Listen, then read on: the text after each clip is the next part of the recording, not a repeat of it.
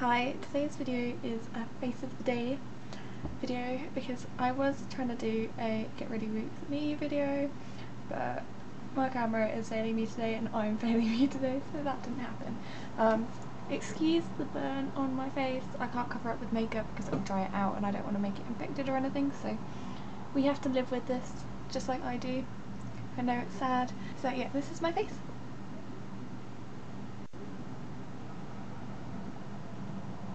And I shaped my eyebrows yesterday for the first time ever. Probably can't notice any difference, so yeah. Um, basically all I used was Barry M pencil in Kohl, um, Urban Decay primer, Gosh primer, and my Sleek Bad Girl palette. Um, this is mostly eyeliner smudged out because it was a more of a smoky eye look so yeah um I hope you enjoyed this rather quick video. Um